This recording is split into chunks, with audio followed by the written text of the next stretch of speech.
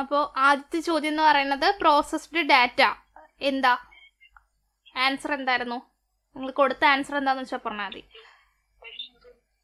ആ processed data is known as information എന്നുള്ളതാണ്. ആ ഇൻഫർമേഷൻ എന്നുള്ളതാണ് കറക്റ്റ് ആൻസർ നമ്മൾ ഡാറ്റേനെ കമ്പ്യൂട്ടറിനകത്തേക്ക് കൊടുത്തിട്ട് ഇൻഫർമേഷൻസ് ആണ് നമുക്ക് തിരിച്ചു തരണേ. അപ്പോൾ ആ ഒരു പ്രോസസ്സിനെയാണ് നമ്മൾ ഡാറ്റ പ്രോസസ്സിംഗ് എന്ന് പറയുക ഇനി ഇവിടുന്ന് കണക്ട് ചെയ്തിട്ടുള്ള രണ്ട് ചോദ്യങ്ങളും കൂടെ പറഞ്ഞുതരാം. ഡാറ്റയായിട്ട് നമ്മൾ കമ്പ്യൂട്ടറിനകത്തേക്ക് കൊടുക്കുന്ന കമ്പ്യൂട്ടറിനകത്തേക്ക് നമ്മൾ കൊടുക്കുന്നത് കീബോർഡ് അല്ലെങ്കിൽ മൗസ് വെച്ചിട്ടാണ് അല്ലേ? കീബോർഡ് വെച്ചിട്ടാണ് മെയിൻ ആയിട്ടും. അപ്പോൾ കീബോർഡ് അല്ലെങ്കിൽ മൗസ് ചെയ്യണ എന്നാന്ന് വെച്ച് കഴിഞ്ഞാൽ എന്താണ്? നമ്മളുടെ ഹൈ ലെവൽ ലാംഗ്വേജിനെ മെഷീൻ ലാംഗ്വേജിലേക്ക് മാറ്റുകയാണ് കീബോർഡൊക്കെ ചെയ്യണേ. അപ്പോൾ അവിടെ നടക്കുന്നത് ബി സി ഡി കൺവേ ആസ്കി കൺവേർഷനാണ് അപ്പോൾ ആ ഡാറ്റയുടെ ബിറ്റ് സൈസ് എത്രയാണ് എന്നുള്ള ചോദ്യങ്ങൾ കാണാറുണ്ട്. അപ്പോൾ ഡാറ്റയുടെ സൈസ് എപ്പോഴും എത്രയായിരിക്കും? ബൈനറിയിലോട്ട് മാറുമ്പം അതിന്റെ സൈസ് എത്രയായിരിക്കും? രണ്ട് ബിറ്റ് ആയിട്ട് മാറും. ക്ലിയർ ആണോ? അത് അങ്ങനെയല്ല ശരിക്കും പഠിക്കേണ്ടത്. ഓർത്ത് വെക്കാൻ എളുപ്പത്തിന് സിമ്പിൾ ആക്കി പറയുന്നതാണ്. ഡാറ്റ എന്ന് പറയുന്നത് കമ്പ്യൂട്ടറിനകത്തേക്ക് കൊടുക്കുന്നതാണ്. ഡാറ്റനെ കമ്പ്യൂട്ടറിനകത്തേക്ക് കൊടുക്കുന്ന സമയത്ത് നമ്മൾ എന്താ സംഭവിക്കുന്നത് ഹൈ ലെവൽ ലാംഗ്വേജിൽ നിന്നും കമ്പ്യൂട്ടറിന് മനസ്സിലാകുന്ന ഭാഷയിലേക്ക് മാറണം അല്ലേ? അപ്പോൾ ഡാറ്റേനെ നമ്മൾ എന്ത് ചെയ്യും? ബൈനറിയിലോട്ട് കൺവേർട്ട് ചെയ്യും. ബൈനറി എന്ന് പറയുമ്പോൾ രണ്ട്. സോ ഡാറ്റയുടെ ബിറ്റ് സൈസ് എത്രയായിരിക്കും? രണ്ട് ബൈറ്റ് ആയിരിക്കും. ഓക്കെ ആണോ? ഓക്കെ ആണോ?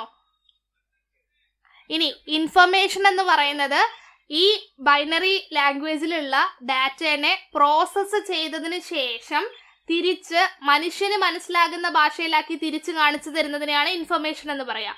അപ്പൊ മനുഷ്യ മനുഷ്യന് മനസ്സിലാകുന്ന ഹൈ ലെവൽ ലാംഗ്വേജിന്റെ ബിറ്റ് സൈസ് ഹെക്സാ ഡെസിമലിലാണ് നമ്മൾ പറയുക പതിനാറാണ്. ഓക്കെ അപ്പോൾ ഇൻഫർമേഷന്റെ ബിറ്റ് ലെവൽ സൈസ് എത്രയാണെന്ന് ചോദിച്ചു കഴിഞ്ഞാൽ സൈസ് എത്രയാണെന്ന് ചോദിച്ചു കഴിഞ്ഞാൽ പതിനാറ് ബൈറ്റ് ആണ്. ഓക്കെ ആണോ? ഇത് ശരിക്കും ഇങ്ങനെയല്ല. കുറേ കാൽക്കുലേഷൻ ഒക്കെ ചെയ്തിട്ടാണ് ഇതിലേക്ക് എത്തേണ്ടത്. പഠിക്കാൻ എളുപ്പത്തിനാണ് ചോദിക്കണേ. വളരെ റെയർ ആയിട്ട് ചോദിച്ചു കണ്ടിട്ടുണ്ട് ഡാറ്റയുടെ സൈസ് എത്രയാണ് എന്ന് ചോദിച്ചിട്ടുണ്ട്. ഡാറ്റയുടെ സൈസ് എന്ന് പറയുന്നത് രണ്ട് ബൈറ്റ് ആണ്. ഇൻഫർമേഷന്റെ സൈസ് എന്ന് പറയുന്നത് പതിനാറ് ബൈറ്റ് ആണ്. ഓക്കെ ആണോ? ഓക്കെ ആണോ? അത് കണക്ട് ചെയ്ത് പറഞ്ഞത്. ആ ഡാറ്റ ഫോർ ടു എന്നുള്ളത് ഓർക്കുക ഇൻഫർമേഷൻ സിക്സ്റ്റീൻ എന്നുള്ളത് ജസ്റ്റ് ഒന്ന് ഓർത്തിരുന്നേക്കുക ദെൻ നെക്സ്റ്റ് ക്വസ്റ്റ്യൻ ആയിട്ട് വന്നിട്ടുണ്ടായിരുന്നത് example of application of application software ഏതാണ്? എം എസ് എക്സൽ ആണ്. ലിനക്സ് നമ്മൾ ഓൾറെഡി പറഞ്ഞു അതൊരു ഓപ്പറേറ്റിംഗ് സിസ്റ്റം ആണ്. അസംബ്ലറും ഇന്റർപ്ല ഇന്റർപ്രറ്ററും എന്താണ്? ലാംഗ്വേജ് ട്രാൻസ്ലേറ്റർ ആണ്. അതായത് ഹൈ ലെവൽ ലാംഗ്വേജ് അല്ലെങ്കിൽ അസംബ്ലി ലാംഗ്വേജിനെ എന്തിലേക്ക് മാറ്റുന്നതാണ്? മെഷീൻ ലാംഗ്വേജിലേക്ക് മാറ്റുന്നതാണ് ഏതെന്ന് പറഞ്ഞേക്കുന്നത് ലാംഗ്വേജ് ട്രാൻസ്ലേറ്റർ ലാംഗ്വേജ് ട്രാൻസ്ലേറ്റേഴ്സിന് എക്സാമ്പിൾ ആണ്.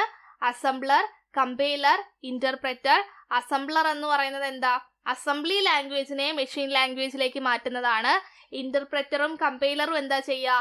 ഹൈ ലെവൽ ലാംഗ്വേജിനെ ഇംഗ്ലീഷ് പോലെയുള്ള ഹൈ ലെവൽ ലാംഗ്വേജിനെ എങ്ങോട്ട് മാറ്റുന്നതാണ്? മെഷീൻ ലാംഗ്വേജിലേക്ക് മാറ്റുന്നതാണ്. ഇനി ഇന്റർപ്രറ്ററും കമ്പൈലറും തമ്മിലുള്ള വ്യത്യാസം എന്താണെന്ന് വെച്ച് കഴിഞ്ഞാൽ കമ്പൈലർ ചെയ്യുന്നത് ഇരുപത് ലൈനുള്ള പ്രോഗ്രാമിനെ മൊത്തത്തിൽ ചെക്ക് ചെയ്തിട്ട് ആണ് എന്ത് ചെയ്യുക? കമ്പൈൽ ചെയ്തിട്ട് മെഷീൻ ലാംഗ്വേജിലേക്ക് മാറ്റുക. അപ്പോൾ ഒരു എറർ ഉണ്ടെന്നുണ്ടെങ്കിൽ ഈ ഇരുപത് ലൈനും കഴിഞ്ഞിട്ടായിരിക്കും ഇന്നിന്ന ലൈൻസിൽ നമുക്ക് എറർ ഉണ്ട് എന്ന് നമുക്ക് കാണിച്ചു തരിക ഒരു പ്രോംപ്റ്റ് പോലെ. ഇന്റർപ്രറ്റർ ആണെന്നുണ്ടെങ്കിൽ ലൈൻ ബൈ ലൈൻ ആയിരിക്കും ചെക്ക് ചെയ്യുക. അപ്പോൾ ഇരുപത് ലൈനുള്ള പ്രോഗ്രാമിൽ ഏതെങ്കിലും ഇടയ്ക്ക് വെച്ചുള്ള ലൈനിൽ എറർ വരുവാണെന്നുണ്ടെങ്കിൽ പ്രോഗ്രാമിന്റെ കമ്പേ ഇന്റർപ്രറ്റിംഗ് അവിടെ വെച്ച് നിർത്തിയിട്ട് എറർ മെസ്സേജ് കാണിക്കും. ആ എററിനെ റെക്ടിഫൈ ചെയ്തെങ്കിൽ മാത്രമേ ഇന്റർപ്രറ്റർ അടുത്ത ലൈനിലേക്ക് പോകത്തുള്ളൂ ക്ലിയർ ആണോ? ഇതിന്റെ ക്ലാസ് ഉണ്ട്. ഇത് ഞാനിപ്പോൾ ജസ്റ്റ് എടുത്തതാണ്. ആ ഒരു ടോപ്പിക്ക് ഞാനിപ്പോൾ എടുത്തതാണ്. ക്ലിയർ ആണോ പറഞ്ഞത്? ക്ലിയർ ആണോ? ക്ലിയർ ഇനി അടുത്തത് in hexadecimal number system E എന്ന് പറയുന്നത് എന്തിനു വേണ്ടിയിട്ടുള്ളതാണ്? ഇ എന്ന് എന്തിന് ഇക്വലന്റ് ആണ്? ആ ഫോർട്ടീൻ ആണ്. എഫ് ആണ് പതിനഞ്ച്. ഓക്കെ എഫ് പതിനഞ്ച് എ പത്ത് ബി പതിനൊന്ന് അങ്ങനെ ഓർത്ത് വെച്ചാൽ മതി. ഇ എന്ന് പറയുന്നത് പതിനാലിന് ഇക്വലന്റ് ആണ്. എഫ് ആണ് പതിനഞ്ചിന് ഇക്വലന്റ് ആയിട്ട് വരണേ.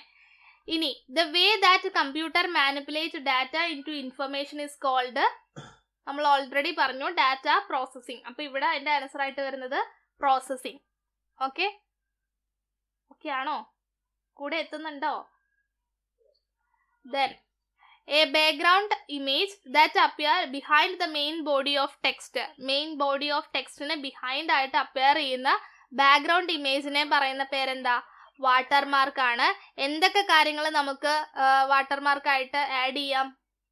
ഇമേജ് ഇമേജും ആഡ് ചെയ്യാം ടെക്സ്റ്റും ആഡ് ചെയ്യാം. ഓക്കെ ഇമേജും ആഡ് ചെയ്യാം ടെക്സ്റ്റും ആഡ് ചെയ്യാം. Then which is the default paper size in the page setup window default ഏതാണ്? ഡീഫോൾട്ട് ലെറ്റർ ആണ്. പ്രിന്റ് എടുക്കുമ്പോൾ നമ്മൾ ഏതെടുക്കുന്നത് എ ഫോർ ആണ്. ഫോർ പ്രിന്റിംഗ് എന്നാണെങ്കിൽ ഏതാണ്? എ ഫോർ ആണ്. ആൻസർ ആയിട്ട് എടുക്കുന്നത് ഈ ചോദ്യത്തിന്റെ ആൻസർ ലെറ്റർ ആണ് കേട്ടോ. ലെറ്റർ ആണ്. ദെൻ അടുത്തത് dot D O C is the default file name extension of Microsoft Windows ഏതിന്റെ ആണെന്നാണ് ചോദിച്ചേക്കണത് ആണ് വേർഡിന്റെ ആണ് എക്സലിന്റെ ഏതാ? ഡോട്ട് എക്സ് എൽ എസ് ഒക്കെ വരുന്നത് എക്സലിന്റെ ആയിരിക്കും. വേർഷൻ അനുസരിച്ച് അതിനകത്ത് വ്യത്യാസം ഉണ്ടാവും. പവർ പോയിന്റിന്റെ ആണെങ്കിൽ ഡോട്ട് പി പി ടി എന്നുള്ള രീതിയിൽ വരുന്നതാണ്. നോട്ട് പാഡ് ആണെങ്കിൽ dot T X T text എന്നുള്ള രീതിയിൽ വരുന്നതായിരിക്കും. ക്ലിയർ ഇവിടെ ഏത് വേർഷൻ ആണെന്ന് ചോദിക്കാത്തതുകൊണ്ടാണ് ഞാൻ അതിനെപ്പറ്റി സ്പെസിഫൈ ചെയ്യാതെ എല്ലാത്തിന്റെയും ബൈനറി ഫയൽസ് ആണ് ഞാൻ പറഞ്ഞേക്കണേ ഇപ്പൊ മൊത്തം. ക്ലിയർ ആണോ? Then dash is the process of combining main document with data source data സോഴ്സുമായിട്ട് main document combine ചെയ്യുന്നത് മെയിൽ മെർജ് ആണ്. ഓക്കെ മെയിൽ ആണ്.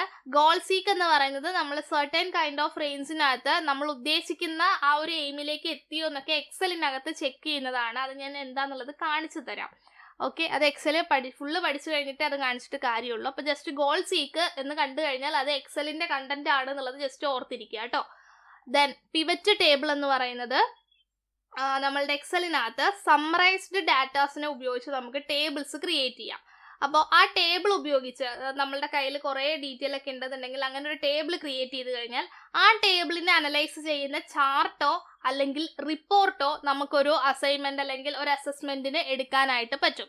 ഇത് വലിയ വലിയ കാര്യങ്ങളാണ് പറയുന്നത് കേട്ടോ ഒരു കമ്പനിയുടെ ആനുവൽ റിപ്പോർട്ടൊക്കെ സബ്മിറ്റ് ചെയ്യുന്ന സമയത്ത് ആ കമ്പനിയുടെ എന്താ ഓരോ പ്രോഡക്റ്റിന്റെ ഓരോ ഡീറ്റെയിൽസ് ഓരോ മാസങ്ങളിലും എങ്ങനെ ഉണ്ടായിരുന്നു എന്നുള്ളത് ഇങ്ങനെ നമ്മൾ ചാർട്ട് ചെയ്ത് ടേബിൾ ചെയ്ത് വെച്ചിട്ടുണ്ടാവും. അപ്പൊ നമ്മളിത് പ്രസന്റ് ചെയ്യാൻ പോകുന്ന സമയത്ത് നമ്മൾ ഈ ടേബിൾ ആക്കിയ കണ്ടന്റിനെ കുറച്ചും കൂടെ എഫിഷ്യന്റ് ആയിട്ട് നമുക്ക് അവതരിപ്പിക്കാൻ പറ്റുന്നത് ചാർട്ടായിട്ടായിരിക്കും നമ്മളൊരു റിപ്പോർട്ട് നമ്മളുടെ ഹയർ അതോറിറ്റിന് കൊടുക്കുന്ന സമയത്ത് ആ ചാർട്ടിനേക്കാളും ഇന്നിന്ന കാര്യങ്ങളാണ് എന്നുള്ളത് റിപ്പോർട്ടായിട്ട് കൊടുക്കുന്നതാണ് കുറച്ചും കൂടെ ബെറ്റർ ഉണ്ടാവുക. അപ്പോൾ ഈ രണ്ട് കാര്യങ്ങളും നമ്മൾ പിന്നെയും പിന്നെയും ചെയ്യുന്നതിന് പകരമായിട്ട് നമ്മളൊരു ടേബിളിന് ഇതുപോലെ കാര്യങ്ങളൊക്കെ കൊടുത്ത് സെറ്റ് ചെയ്ത് കഴിഞ്ഞാൽ ഈ പിവറ്റ് ടേബിളിനെ നമുക്ക് ചാർട്ടായിട്ടും യൂസ് ചെയ്യാം റിപ്പോർട്ടായിട്ടും യൂസ് ചെയ്യാം. ആ ഒരു ടേബിളിനെ അനലൈസ് ചെയ്ത് കമ്പ്യൂട്ടർ തന്നെ ഓട്ടോമാറ്റിക് ആയിട്ട് ചാർട്ടും ക്രിയേറ്റ് ചെയ്യും. കമ്പ്യൂട്ടർ തന്നെ ഇന്നിന്ന കാര്യങ്ങളാണ് ഇന്നിന്ന ഈ ഒരു മാസം ഇത്ര തരത്തിൽ താഴ്ചയുണ്ടായി ഇത്ര രീതിയിൽ ഹൈക്ക് ഉണ്ടായി എന്നുള്ള രീതിയിൽ കമ്പ്യൂട്ടർ തന്നെ നമുക്ക് റിപ്പോർട്ടും ക്രിയേറ്റ് ചെയ്ത് തരും. സോ ആ ഒരു കണ്ടന്റ് എന്താന്നുള്ളത് ഞാൻ ചെയ്ത് കാണിച്ചു തരാം. പ്രിവറ്റ് ടേബിൾ എങ്ങനെയാണ് ക്രിയേറ്റ് ചെയ്യണേ എന്നുള്ളത്. ഇത് എക്സലിലെ കണ്ടന്റ് ആണ്. അപ്പൊ പ്രിവേറ്റ് ടേബിൾ നമ്മൾ എങ്ങനെയൊക്കെ ഉപയോഗിക്കാനായിട്ട് പറ്റും? ചാർട്ടായിട്ടും യൂസ് ചെയ്യാം റിപ്പോർട്ടായിട്ടും യൂസ് ചെയ്യാം. ക്ലിയർ ആണോ? എങ്ങനെയാ ചെയ്യണേ എന്നുള്ളത് കാണിച്ചു തരാം. Okay then dash mode is used to print a page horizontally നമുക്ക് പേജിനെ ഹൊറിസോണ്ടലി നമുക്ക് പ്രിന്റ് ചെയ്യണം എന്നുണ്ടെങ്കിൽ നമ്മൾ ഏത് ഓറിയന്റേഷൻ എന്നാണ് ഇവിടെ ഉദ്ദേശിച്ചേക്കണേ? ഏത് ഓറിയന്റേഷൻ ആണ് എടുക്കുക? ലാൻഡ്സ്കേപ്പ് ആണ്. ലാൻഡ്സ്കേപ്പ് ആണ് വരിക. കാരണം പേജ് തിരിയുമല്ലേ ഹൊറിസോണ്ടലി തിരിയുമാണ് ചെയ്യണേ. അപ്പോൾ ലാൻഡ്സ്കേപ്പ് ആണ് നമ്മൾ ഉപയോഗിക്കുന്നത് ഇനി ഇതേ ചോദ്യം തന്നെ വെർട്ടിക്കലി എന്നുള്ള രീതിയിലും ചോദിക്കാം. അപ്പൊ വെർട്ടിക്കലി വരുവാണെങ്കിൽ ഏതാണ്? പോർട്രേറ്റ് ആണ്. ക്ലിയർ ആണല്ലോ? നെക്സ്റ്റ് ചോദ്യം. Files created in Excel is known as എക്സലിൽ create ചെയ്തിട്ടുള്ള ഫയൽസിനെ പറയുന്ന പേരെന്താ? വർക്ക് ബുക്ക് എന്നാണ്. ഇനി ഡോക്യുമെന്റ് എന്ന് പറയുന്നത് ഏതാ? ആ വേർഡിന്റെ ഡോക്യുമെന്റ്സിന് വേർഡിന്റെ വേർഡ് ക്രിയേറ്റ് ചെയ്യുന്ന ഫയൽസിനെയാണ് ഡോക്യുമെന്റ് എന്ന് പറയാ. പവർ പോയിന്റ് ക്രിയേറ്റ് ചെയ്യുന്ന ഫയൽസിനെയാണ് എന്തെന്ന് പറയാ? പ്രസന്റേഷൻ എന്ന് പറയാ. ഡാറ്റാബേസ് എന്ന് വെറുതെ കൊടുത്തേക്കുന്നതാണ്. ഓക്കെ ഇനി ഈ വേർഡിന്റെ ഡീഫോൾട്ട് ഫയൽ നെയിം എന്താ? ഡോക്യുമെന്റ് വൺ എന്നുള്ളതാണ്. ഓക്കെ ഡോക്യുമെന്റ് വൺ എന്നുള്ളതാണ്. വേർഡിനകത്തെ ഓരോ എഴുതാൻ കഴിയുന്ന നമുക്ക് ആക്സസ് ചെയ്യാൻ പറ്റുന്ന സ്ഥലങ്ങളെ നമ്മൾ പേജ് വൺ പേജ് ടു അങ്ങനെയാണ് പറയുക വർക്ക് ബുക്കിന് വരുന്ന സമയത്ത് എക്സലിൽ വരുന്ന സമയത്ത് എക്സൽ ക്രിയേറ്റ് ചെയ്യുന്ന ഫയലിനെ നമ്മൾ വർക്ക് ബുക്ക് എന്നാണ് പറയുക. എക്സലിന്റെ ഡീഫോൾട്ട് ഫയൽ നെയിം വരുന്നത് ബുക്ക് വൺ എന്നാണ്. എക്സലിനകത്ത് നമുക്ക് എഴുതാൻ കഴിയുന്ന ഭാഗങ്ങളെ നമ്മുടെ വർക്ക് ഏരിയനെ നമ്മൾ sheet one sheet two sheet three അങ്ങനെയാണ് പറയുക. ഇനി പവർ പോയിന്റിൽ വരുന്ന സമയത്ത് പവർ പോയിന്റ് ക്രിയേറ്റ് ചെയ്യുന്ന ഫയൽസിനെ നമ്മൾ പ്രസന്റേഷൻ എന്നാണ് പറയുക. അതിന്റെ ഡിഫോൾട്ട് ഫയൽ നെയിം വരുന്നത് പ്രസന്റേഷൻ വൺ എന്നുള്ളതാണ്. ഇനി അതിനകത്ത് നമുക്ക് ആക്സസ് ചെയ്യാൻ കഴിയുന്ന വർക്ക് ഏരിയനെ നമ്മൾ പറയുന്നത് slide one slide two slide three എന്നിങ്ങനെയാണ്. വേർഡിൽ വരുന്ന സമയത്ത് നമുക്ക് ഡീഫോൾട്ട് ആയിട്ട് ഒരു പേജാണ് ഉണ്ടായിരിക്കുക. വർക്ക് ബുക്കിൽ വരുന്ന സമയത്ത് എക്സലിൽ വരുന്ന സമയത്ത് നമുക്ക് ഡീഫോൾട്ട് ആയിട്ട് മൂന്ന് ഷീറ്റാണ് മൂന്ന് ഷീറ്റാണ് ഉണ്ടായിരിക്കുക. പ്രസന്റേഷനിൽ പവർ പോയിന്റിൽ വരുന്ന സമയത്ത് നമുക്ക് ഒരു സ്ലൈഡാണ് ഉണ്ടായിരിക്കുക. ആ ഒരു സ്ലൈഡിന്റെ തന്നെ തമ്പനെയിൽഡ് വേർഷനാണ് തൊട്ട് ലെഫ്റ്റിലായിട്ട് കാണാനായിട്ട് പറ്റുക. ക്ലിയർ ആണോ? ഇത് കൺസോളിഡേറ്റഡ് ആയിട്ട് പറഞ്ഞതാട്ടോ മൂന്ന് സോഫ്റ്റ്വെയറും കൂടെ ഒരുമിച്ച് ഓർത്തിരിക്കാൻ വേണ്ടി പറഞ്ഞതാ. Then next dash is describing the production of multiple document from a single template ഒരൊറ്റ ടെംപ്ലേറ്റിൽ നിന്നും മൾട്ടിപ്പിൾ ഡോക്യുമെന്റ്സ് പ്രൊഡക്റ്റ് ചെയ്യുന്ന ആ ഒരു പ്രോസസ്സിനെ നമ്മൾ എന്തെന്നാ പറയുന്നത് സെയിം കാര്യം തന്നെ മെയിൽ മറിച്ച് എന്ന് വെച്ചാൽ ഒറ്റ ഡോക്യുമെന്റ് ആണ് നമ്മൾ ക്രിയേറ്റ് ചെയ്യുന്നത്. അതിനകത്ത് നിന്ന് മൾട്ടിപ്പിൾ ഡോക്യുമെന്റ്സ് നമുക്ക് പ്രൊഡ്യൂസ് ചെയ്യാം. എത്ര ആൾക്കാരുണ്ട് എന്നുള്ളതിനനുസരിച്ച് അല്ലേ? അപ്പൊ ആ പ്രോസസ്സിനെ നമ്മൾ എന്തെന്നാ പറയുന്നത് മെയിൽ മർജ് ഇതൊക്കെ പി വൈ ക്യൂസ് ആണ്. നിങ്ങൾ നോട്ട് ചെയ്ത് വെച്ചേക്കുക then next first city in the world that's made their own font for Microsoft Office ഏതാണ് സിറ്റി എന്ന് ചോദിച്ചു കഴിഞ്ഞാൽ ദുബായ് ആണ്. ഒരു അറബ് ഫോണ്ടാണ് അവർ ക്രിയേറ്റ് ചെയ്തേക്കണേ. ഓക്കെ ദുബായ് ആണ്. മൈക്രോസോഫ്റ്റ് ഓഫീസിൽ ഉപയോഗിക്കാൻ കഴിയുന്ന ഫോണ്ട് ക്രിയേറ്റ് ചെയ്ത് അറബ് ഫോണ്ടാണെന്ന് ഓർത്തിരിക്കുക. പേര് ഞാൻ നോക്കിയിട്ട് പറയാം. ഞാൻ അത് വിട്ടുപോയി. ഏത് പേരാണെന്ന് നോക്കാനായിട്ട്. Then if we want to perform task repeatedly in ms word we can automate the task by using ഏതാണ്? വേർഡിലായിക്കോട്ടെ എക്സലിലായിക്കോട്ടെ പവർ പോയിന്റിലായിക്കോട്ടെ നമുക്ക് ഏതെങ്കിലും ഒരു ടാസ്കുകൾ റിപ്പീറ്റഡ് ആയിട്ട് ചെയ്യണമെന്നുണ്ടെങ്കിൽ അതിനെ നമുക്ക് ഓട്ടോമാറ്റ് ആക്കി വെക്കാം. അതിനെ നമ്മൾ എന്താണ് ഉപയോഗിക്കുന്നത്? മാക്രോസ് ആണ് ഉപയോഗിക്കുന്നത്. ഇത് ഈ ചോദ്യം ഇപ്പോൾ ഇൻ എം എസ് വേർഡ് എന്നുള്ള രീതിയിലാണ് വന്നേക്കണേ. ഇത് ഇൻ എം എസ് എക്സൽ എന്നുള്ള രീതിയിൽ ചോദിക്കാം in M S PowerPoint എന്നുള്ള രീതിയിലും ചോദിക്കാം. അപ്പോൾ ഈ ഒരു ചോദ്യം തന്നെ രണ്ട് ഫീൽഡിൽ നിന്നും വരാൻ സാധ്യതയുണ്ട്. ഏത് വന്നാലും ഈ ചോദ്യത്തിന്റെ ആൻസർ എന്താണ്? ആൻസർ എന്താ? മാക്രോസ് ആണ്. ഓക്കെ ദെൻ അടുത്തത് dash displays the pages of the above document in the way the look like after printing print ചെയ്തിട്ട് പ്രിന്റ് ചെയ്ത് കഴിയുമ്പോൾ എങ്ങനെയാണോ ഇരിക്കുന്നത് അതേപോലെ കാണിച്ചു തരുന്ന വ്യൂ ഏതാണെന്നാണ് ചോദിച്ചേക്കണേ. പ്രിന്റ് പ്രിവ്യൂ ആണ്. പ്രിന്റ് ചെയ്യുന്നതിന് തൊട്ട് മുമ്പായിട്ട് നമ്മൾ ഫൈനലൈസ് ആയി ചെയ്ത് നോക്കുന്നതിന് സഹായിക്കുന്നതൊക്കെയാണ് പ്രിന്റ് പ്രിവ്യൂ എന്ന് പറയുന്നത്. Then what normally happens when you press the F one key when a program is run ഒരു പ്രോഗ്രാം റൺ ചെയ്തുകൊണ്ടിരിക്കുവാണ് അതിനിടയിൽ കൂടെ നമ്മൾ എഫ് വണ് പ്രസ് ചെയ്ത് കഴിഞ്ഞാൽ എന്താ സംഭവിക്കുക എന്നാ ചോദിച്ചേക്കണേ. എന്താ ആ ഹെൽപ്പ് ഫെസിലിറ്റി ഏതാണോ പ്രോഗ്രാം ആ പ്രോഗ്രാമിന്റെ ഹെൽപ്പാണ് ഓപ്പൺ ആയിട്ട് വരിക. Okay then touchpad responds to ഇത് ഓൾറെഡി ഞാൻ പറഞ്ഞിട്ടുള്ള ക്വസ്റ്റ്യൻ ആണ്. ടച്ച് പാഡ് റെസ്പോൺസ് ടു ഏതാണ്? പ്രഷർ ആണ്. Then the central processing unit of is the combination of ഏതാണ്? ആ അരിത്തമെറ്റിക് ലോജിക് യൂണിറ്റും കൺട്രോൾ യൂണിറ്റും ഉണ്ട്. പിന്നെ ഒരു യൂണിറ്റും കൂടെ ഉണ്ടല്ലോ. Arithmetic law L U C U M U ഇത് മൂന്നും കൂടെ ചേരുന്നതാണ് C P U M U എന്ന് പറയുന്നത് എന്താ? Memory unit C U control unit arithmetic logic unit ആണ് എ എൽ യു ഓക്കെ അപ്പൊ ഇത് മൂന്നും കൂടെ ചേരുന്നതാണ് സി പി യു എന്ന് പറയുന്നത് നമ്മുടെ ഇവിടെ ഓപ്ഷനകത്ത് തന്നിട്ടുള്ളത് അരിത്തമെറ്റിക് ലോജിക്കും കൺട്രോൾ യൂണിറ്റ് അപ്പൊ ഇതാണ് ആൻസർ ആയിട്ട് വരണേ സി ആണ്. Then next question a software system that is designed for searching information over the world wide web നമ്മളുടെ വെബിനകത്ത് ഇന്റർനെറ്റിനകത്ത് സെർച്ച് ചെയ്യാനായിട്ട് ഡിസൈൻ ചെയ്തിട്ടുള്ള സോഫ്റ്റ്വെയർ ഏതാണ്? സെർച്ച് എഞ്ചിൻസ് ആണ്. ആ സെർച്ച് എഞ്ചിൻ ആണ്. സെർച്ച് എഞ്ചിന്റെ എക്സാമ്പിളുകൾ ഏതൊക്കെയാണ്? ഗൂഗിൾ യാഹു ആ അങ്ങനെയുള്ള കുറച്ച് കാര്യങ്ങൾ ജസ്റ്റ് മൂന്ന് മൂന്നോ നാലോ ഓപ്ഷൻസ് ജസ്റ്റ് പഠിച്ചു വെച്ചേക്കുക ഇനി ഡീബഗ്ഗിംഗ് എന്ന് പറയുന്ന ഒരു പ്രോസസ്സ് ഉണ്ട്.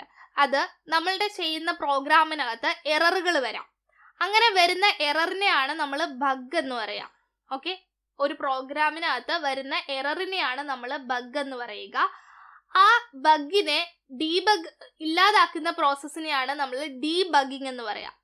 ഓക്കെ ക്ലിയർ ആണോ? ആ ബഗ്ഗുകൾ എലിമിനേറ്റ് ചെയ്യുന്ന പ്രോസസ്സിനെയാണ് ഡീബഗിങ് എന്ന് പറയുക. ക്ലിയർ ആണോ? ഇന്റർപ്രറ്റർ ഓൾറെഡി ഞാൻ പറഞ്ഞു ലാംഗ്വേജ് ട്രാൻസ്ലേറ്റർ ആണ്. എഡിറ്റർ മീൻസ് നമ്മളുടെ ടെക്സ്റ്റ് എഡിറ്റർ സോഫ്റ്റ്വെയറിനെയാണ് ഇവിടെ മെൻഷൻ ചെയ്തേക്കണേ. ഏതാ നോട്ട് പാഡ് റൈറ്റർ പോലെയുള്ള കാര്യങ്ങളൊക്കെ എഡിറ്റർ സോഫ്റ്റ്വെയർസ് ആണ്. ക്ലിയർ ആണല്ലോ? ആ എറർ കറക്റ്റ് ആക്കുന്നേ. ഡയഗ്നോസോ അത് എറർ ചെക്ക് ചെയ്യുന്നതല്ലേ? എവിടെയാണ് എറർ വന്നേക്കുന്നത് എന്താണ് എറർ എന്ന് ചെക്ക് ചെയ്യുന്നതാണ് ഡയഗ്നോസ് ഡീബഗ് ചെയ്യുന്നത് അത് റെക്ടിഫൈ ചെയ്യാണ് ചെയ്യണേ. അത് ഇല്ലാതാക്കാണ്. എന്ന് വെച്ചാൽ എറർ ഇല്ലാതാക്കാണ് ചെയ്യണേ. സംഭവം എന്നാന്നറിയോ ഡയഗ്നോസ് ചെയ്യുമ്പം ഇന്നതാണ് എറർ എന്ന് കാണിക്കും. അപ്പോൾ ഇപ്പൊ എന്തെങ്കിലും ഒരു സിമ്പിൾ കാര്യം പറയുകയാണെങ്കിൽ നമ്മൾ എന്തോ നെറ്റിന്റെ എന്തോ കണക്ഷൻ ചെയ്യണ സമയത്ത് നമ്മൾ ഡയഗ്നോസ് ചെയ്തു.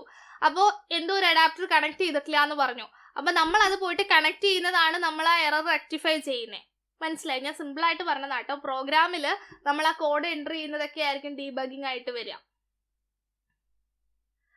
then next system software that translate high level language code to machine language high ലെവലിനെ machine ലാംഗ്വേജിലേക്ക് മാറ്റുന്നത് ഏതാ?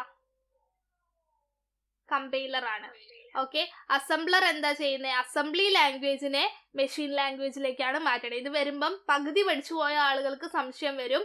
അസംബ്ലർ ആണോ കമ്പൈലർ ആണോ എന്നുള്ളത്. അസംബ്ലർ എന്ന് കേട്ട് കഴിഞ്ഞാൽ അത് അസംബ്ലി ലാംഗ്വേജിനെയാണ് മാറ്റണേ. കമ്പൈലർ ആണ് ഹൈ ലെവൽ ലാംഗ്വേജിനെ മാറ്റണേ. ക്ലിയർ ആണോ?